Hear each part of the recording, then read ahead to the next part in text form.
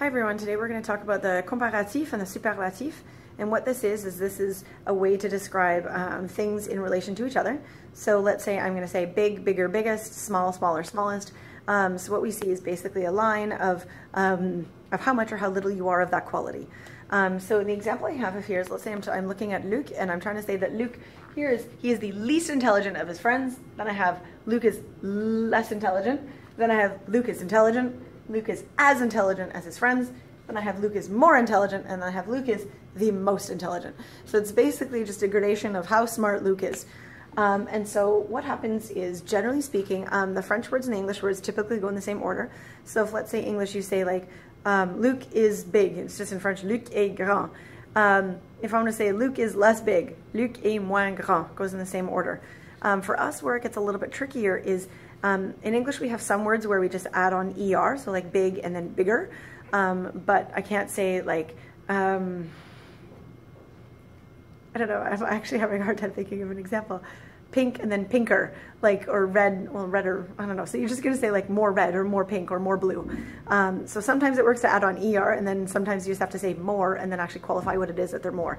In French, it's always you say the word more. Um, and so you can't say like, bigger in French and then add on more at the end.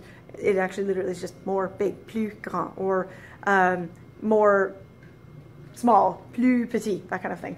So um, here we have, if I'm going to say Luke is the least intelligent of his friends, it really is in the same order. Like Luke is the least, Luke est le moins, and then intelligent, intelligent, goes in there. Um, where we run into a, a trap with this, and it kind of works for the same whether it's masculine singular, feminine singular, masculine plural, feminine plural. The predicament that we have is that um, we have to use the word the. So I'm going to say Luke is the least intelligent.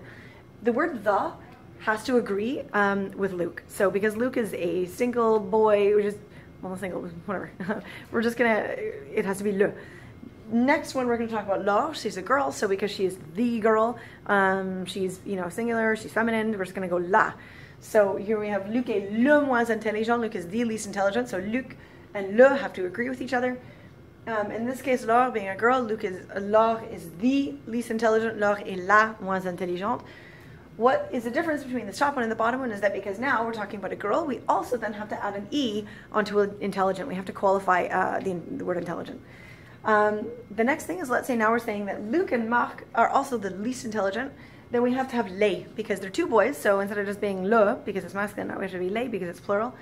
And then because they're also plural and it, we're using the word intelligent, we have to have an S on the end of intelligent. So we're really going to say Luc et Marc sont les moins intelligents. They're the least intelligent.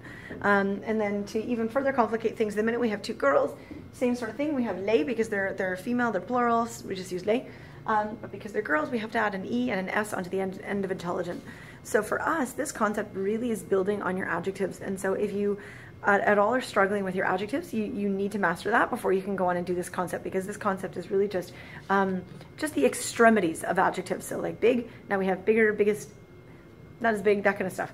But if you don't even understand how to make big work in a sentence, then we have a problem. You have to go back and start with that, okay? Um, then we kind of move on. The nice thing is that if you, again, look at this whole line, this whole gradient here, um, we only have the le and the la at the polar opposites, okay? Because either we have the least or the most of something, and then everything in between is just kind of like a comparison or a statement. So we really only have to worry about like le, la, le um, on the outsides.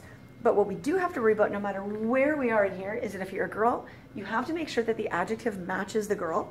Um, and then if it's plural, that the, the number matches the number of people that you're speaking about. Um, so um, let's just go one at a time. Now let's just look at the, the Laure, we're going to look at the female singular example and then we'll carry on. So here I'm saying Laure is the least intelligent. Laure est la moins intelligente. So word by word, it's quite nice. It goes in order. Now I'm just saying Laure is less intelligent or she's not as intelligent as her friends. And it really is in the same order. Like Laure, Laure, A is moins, less, intelligente, intelligent. Okay, so that nice, nicely goes in order. This is now I'm just saying a fact. Laure est intelligente. So Laure is intelligent like her friends. Nice, it goes in the exact same order. Now I'm trying to say that she is as intelligent as, which for us, what's really frustrating is that in English we have as and as, and in French they have two words. They have aussi and que. And you're thinking like, this is stupid, and yes it is. It is very stupid. It should just be one word. Um, but what they have is Laure est aussi intelligente que ses amis. Laure is as intelligent as her friends. So with that one, the order is still the same. It's just frustrating because now the word as, there's two different words for as, whereas in English we just have the one. So, ah, so much work. Now we're gonna have, uh, Laure is more intelligent, and again, we wanna, like, it would be great if we could just say she's intelligenter and then leave it as that, uh, but we can't do that. Um, really, truly, it looks like we're saying Laure is plus intelligent. Like, Laure est plus intelligent. So in this case, the word plus just means more, but for us, you're like, ooh, that looks like an English word plus, but it's, which is still more, but it's confusing. So, Laure est plus intelligente, and again, because she's a girl, we have to add the E onto the end. And then finally, we're going to say Laure is the most intelligent because she is the most intelligent. We have to have, we have to have an equivalent for the, for the word the. So it's la. So truly, it's now Laure est la plus intelligente. So it's like literally Laure is the plus or the most intelligent is really how it's going to look. So this on its own is actually not too problematic. For us, what is a bit of a problem is sorry, let me just there's just so much information.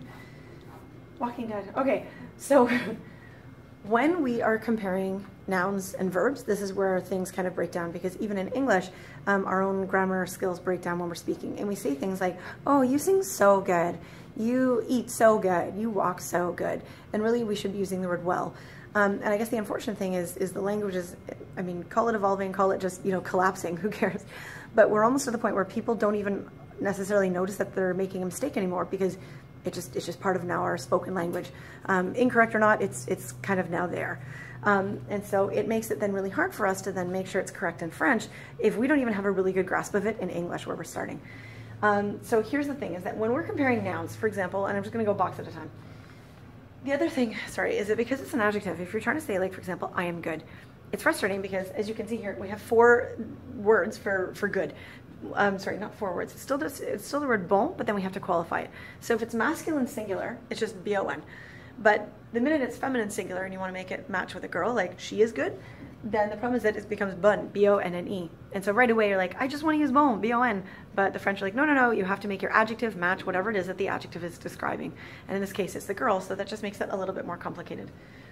Um, and again, if let's say you're describing good boys, and because they're boys, you're going to put an S on the end, so it becomes bon. Um, and then if you're describing good girls, it's bun with a B O N N E S at the end um, because they're feminine plural. So again, all, right away, you're like, I just want to say good. Why do I have to have four different ways of doing this? Um, now, let's say again, you're still comparing nouns, and you're trying to just say, I am better um, than Joe. So je suis meilleur que Joe. So again, here we have the word meilleur. One of the ways that I try and help students remember this is think of like John Mayer. He's the best, good singer, whatever. Um, so if you think of like meilleur, um, if it's a girl, again, we add on an E. If it's plural, we add on an S.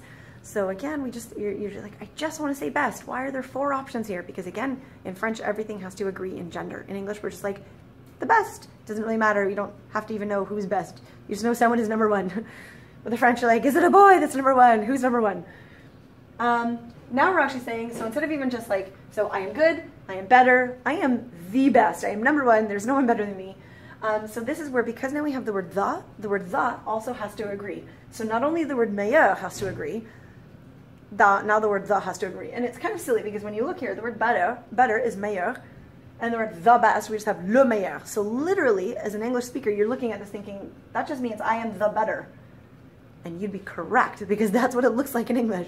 In French, they uh, they understand it as meaning the best, but as English speakers, we're like the better. And yes, you're correct, but just translate it back as the best. Um, so again, if it's masculine singular, it's going to be le. If it's feminine, it's going to be la. If it's plural, it's going to be les. So a little bit confusing. When we're comparing verbs, it's a little bit better. So let's say, for example, you're trying to say, I swim well. And now instead of just qualifying who you are, you're trying to qualify what you do. So the minute it's a verb, um, we have to use an adverb. And that's for us the dilemma is that these are adjectives and this is an adverb, which is kind of nice because generally speaking, our adverbs don't have to agree um, with, with who it is that we're speaking about. So which is kind of nice. So if you're trying to say I swim well, it's just je nage bien. I eat well, je mange bien. I sing well, je chante bien. I sing, I dance well, je danse bien. Um, so now you're trying to say, so I swim well, but now you're saying I swim better. So you're saying I swim better than John. I don't know, it doesn't matter. So you, you use the word mieux. Je nage mieux que John. Um, je mange mieux que Jean. Je chante mieux que Jean. Okay? So it's just use the word mieux. Um, now you're trying to say um, I swim well, and but now actually the idea is like I swim the best. So you are the best action, not just the best person. Your action is the best.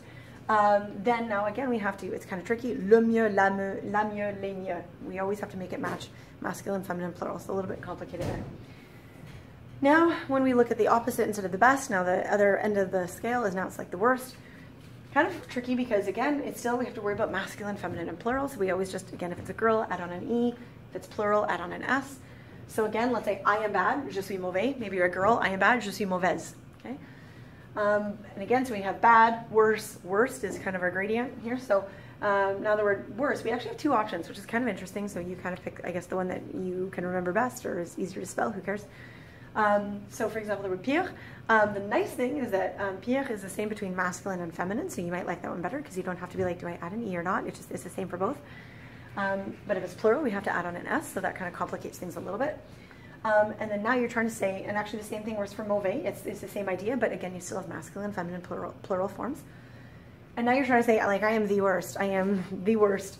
Um, and sorry, and just to remind you, we're still comparing nouns. So maybe when it comes to um, who is tall, let's just say an, an, adjective, I am the worst at being tall. Then you would say, je suis la pire. Well, if I'm, I'm a girl, going to say, je suis la pire. If you're a boy, je suis le pire. Maybe there's a whole group of us and we're all terrible at being tall. Nous sommes les pires. Okay? Um, so, and then finally, if we're comparing verbs and you're trying to say, so now we have like poorly and then worse and then the worst. So now you're just trying to say, I swim poorly or I sing poorly or I dance poorly. Just mal, which on its own, mal means bad. So again, you're like, ah, no wonder it's so confusing. It's, it's a little frustrating. Um, but now we're just trying to say worse. Literally, you're basically saying plus bad or like more bad, which is in better English, it means worse. So if I'm going to say I swim worse than Joe, it's going to say je nage plus mal que Joe. And then finally, if you're comparing, again, verbs, and you're trying to say, I swim the worst, again, you're not saying, I am the worst swimmer. You're not qualifying who you are as a swimmer. Now you're qualifying your action, your actual swimming. You're saying, my swimming itself is the worst, not me, just my swimming. then you're to say, um, I swim the worst, je nage le plus mal. So I hope this helps. Kind of tricky, but again, this this page here, this really confusing page, is only when it comes to good, better, best, worse, worse, and bad, or say bad, worse, and worst. So but again, let's just go back up to the very, very top. Looks like I'm petting my whiteboard. This is a little silly. So um, keep in mind again, um, generally speaking, when you go from, um, from the left to the right, the minute you have to have like, I'm number one, whether I'm like number one at, at, the best thing or number one at the worst thing, you're gonna have to have the, the word the, make that match. So if it's a masculine thing, you're gonna have the. If it's feminine, it's gonna have la. If it's plural, it's les. The minute your adjective has to match with your noun. So again, if you're a girl, you're always to be adding an e. You're being careful of what you have to do to your adjective to make it feminine. Um, and if you're plural, you definitely have to make it plural somehow, whether you add an s or an x or however does that adjective changes. Um, and then um, make sure also, I forgot to mention this too, make sure your verb changes as well. So here we have like Luke is the least intelligent you can't have like Luke and Mark is the least intelligent. You have to change is as well to are. So what I would probably do if I were you is just try and copy this idea a million times until it sinks in and you're like, I know this pattern. Um, but again, that's the idea of comparative and superlative is it's just basically you're taking adjectives and instead of just like, the cat is brown, you're like, this is the brownest cat in the world. This cat is more brown than that cat. This cat is less brown than that cat. It's just comparing things. So hope that helps.